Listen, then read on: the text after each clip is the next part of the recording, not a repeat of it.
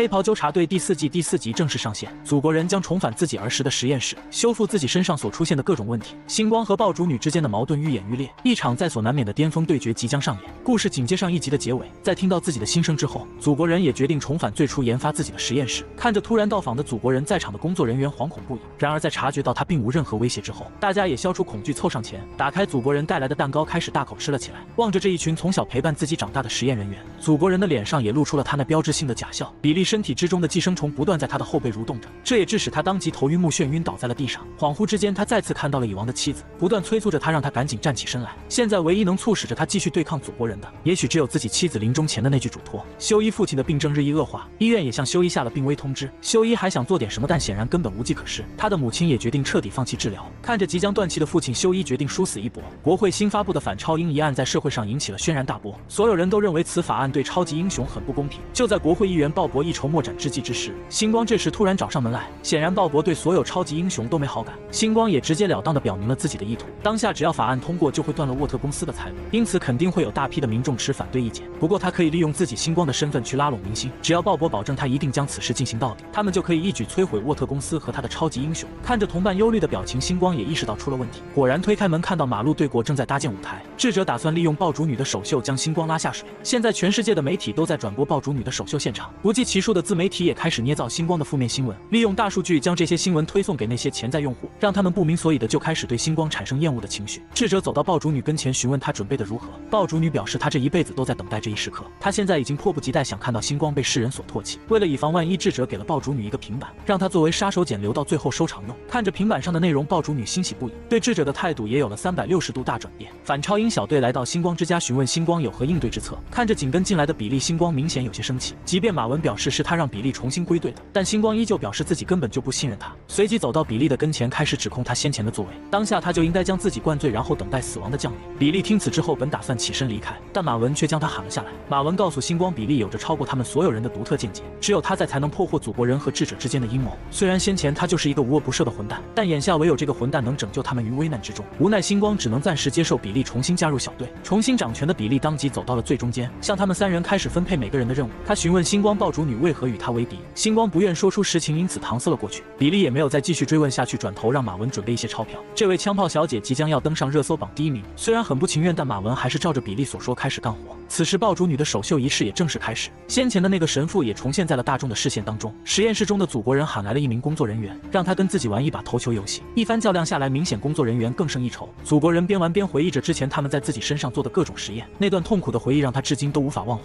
祖国人强压怒火，继续玩着投球游戏，而一旁的另一名工作人员已然察觉到了不对劲，想要阻止，显然已经为时已晚。祖国人打开实验舱，让那名工作人员体会自己儿时的痛苦。为了自己的家人，工作人员只能只身走了进去。他想向祖国人道歉，但祖国人根本就不接受。伴随着实验舱启动，那名工作人员化作了一滩血水。祖国人投出了最后一枚纸团，原谅了他。修一让喜美子陪着自己去见了火车头，他希望火车头可以给自己一些五号化合物，但火车头却表示祖国人将所有化合物都锁在了他的公寓之中。看到火车头执意不肯帮自己，修一搬出了被他撞死的女友，但显然火车头依旧不为所动。直到修一表示他的父亲性命危在旦夕，他恳求火车头可以看在他女友的份上帮他最后这一次。听此，本身就心存愧疚的火车头答应了下来，转头瞬间消失在了两人面前。对于修一今天的所作所为，喜美子有些难以理解。他认为修一应该顺从自然法则，不应该去改写任何人的命运。就在两人谈话之际，远处的杀手突然对着他们疯狂射击。逃跑过程中，修一一不小心摔断了脚踝，而刺杀他们的人正是先前喜美子在人贩子基地遇到的那名女孩。喜美子搀扶着修一进入到了大楼之中，拿起一块木板暂时固定住了他受伤的脚踝，掏出手机告诉修一外面那伙人是来刺杀自己的，随即表示他们必须跑回到货车上面。但修一却表示自己这情况根本就跑不了。为此，喜美子当即扯下一块铁板让他当做护盾，拿起一把小刀交到他的手中作为武器。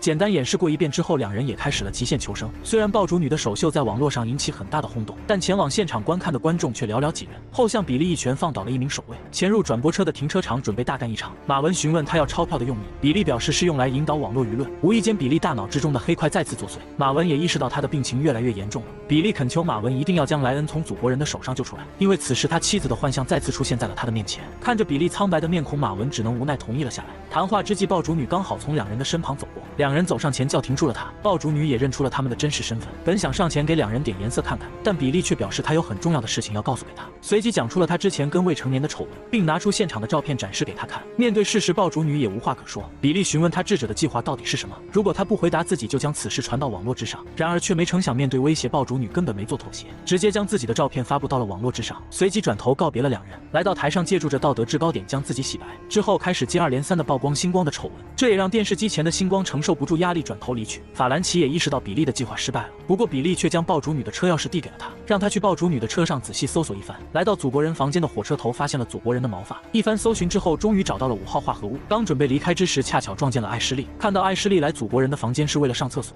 火车头也露出了嘲笑之声。看到他们都同时记恨祖国人，两人很快达成了共识。毫不知情的祖国人此时叫来了另一名工作人员马蒂。马蒂知道自己之前在他身上犯下了太多罪行，因此试图拉拢祖国人，让他放下对自己的仇恨。本以为自己己的计划奏效，却没成想祖国人突然提到了那扇红门。听着他不断陈述着当年的事情，马蒂也意识到了情况不妙。果然，祖国人让他当着自己的面做他先前做的事情，并喊来实验室中的其他人上前围观。看着马蒂，祖国人不断大笑嘲讽着他。为了活下来，马蒂只能听其各种摆布。终于，马蒂忍无可忍，停了下来。祖国人也毫不客气地给他穿了一个洞。就在祖国人玩得不亦乐乎之时，实验室的管理芭芭拉这时刚好赶了过来。祖国人也毫不客气地直接踩碎了马蒂的脑袋。芭芭拉希望祖国人可以跟他好好谈一谈。祖国人也直接转身向着红门走去。西美子在前面为修一杀出了一条血路，一转身却被女孩一枪崩碎了身体。看到自己最强的后盾碎成了两半，修一也来不及多想，向着后面夺路而逃，冲出掩体跟歹徒扭打在了一起。面对训练有素的歹徒，修一明显不是其对手。眼看歹徒拿刀刺向了自己，关键时刻修一出刀救下自己一命。走出房间，看到席美子已然和那名女孩扭打在了一起，一个回合女孩就被席美子打倒在地。席美子走上前想将女孩拉起，但女孩却拒绝了他的好意，开始回忆起两人之前所发生的一系列事情。她身上的伤疤就是拜席美子所赐，因此自己记恨她一辈子。此时的席美子已然开始落泪，想要取得女孩的原谅显然是不可能了。她搀扶着修一离开了大楼，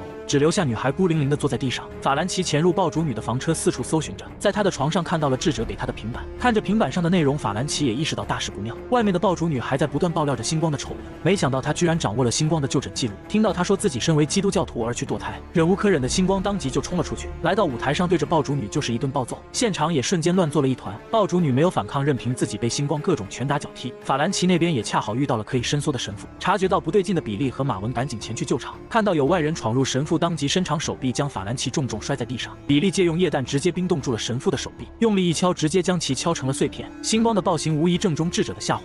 他就是故意让爆竹女惹恼星光，然后让全世界都看到星光在大庭广众之下使用暴力。要不是马文及时上前阻拦，星光还沉浸在暴怒之中无法自拔。看着网络之上已经炸开了锅，智者深知自己的目的达到了，只有一个胳膊的伸缩人依旧能将比利打得毫无任何还手之力。弥留之际，无数自己妻子的声音不断在他耳边回荡，伴随着一声惨叫，伸缩人被爆成了碎片。其他人此时也赶了过来，没人察觉到比利的不对劲，背起法兰奇逃离了这个是非之地。回到坏房间的祖国人和芭芭拉促膝长谈，芭芭拉也看出祖国人是因为害怕才来到这里残害其他人，他宛。如一个母亲一般，不断安抚着祖国人受伤的心灵。晚上，智者找来深海，告诉了他自己的秘密。为了阻止自己的大脑继续生长，他需要每天用一根铁棒不断刺激他。当下，他需要深海来帮自己这个忙，无奈深海只能听从他的安排，从智者的眼睛中将铁棒插了进去。很快，星光暴行仪式就在网络上铺天盖地的传播起来。星光也明白自己今天的做法让所有人陷入到了绝境之中。鲍勃打来电话，表示了自己的态度，今后他们之间再无任何瓜葛。挂断电话的星光爆头开始痛哭起来。晚上，火车头将五号化合物交给了修一，看到他冒着生命危险帮助了自己，修一也决定跟。跟他冰释前嫌，握手言和。火车头走后，比利从墙后面走了出来。修一告诉了他要五号化合物的用途，但比利却表示五号化合物根本不能缓解他父亲的病状。之前自己就试过这一方法，但显然根本就不奏效。听此，修一也遗憾地转头离去。对于房车上的事情，比利一无所知，他也不知道在自己身上究竟发生了什么，只知道自己必须完成妻子交代给他的事情。在命运的抉择下，修一并没有给父亲使用化合物。看着已经拔下氧气管的父亲，修一难过不已。母亲的突然出现吓了修一一跳，他来到外面打算冷静一下，之后回到病房打算陪伴父亲最后一程。监视器响起的警。报声让修一疑惑不已。此时，一股蓝色的液体通过针管快速流进了他父亲的身体之中。父父亲在经过一阵剧烈的颤动之后睁开了眼睛。坏房子中只剩下了芭芭拉一人，而祖国人也为自己刚才杀人的快感露出了满意的笑容。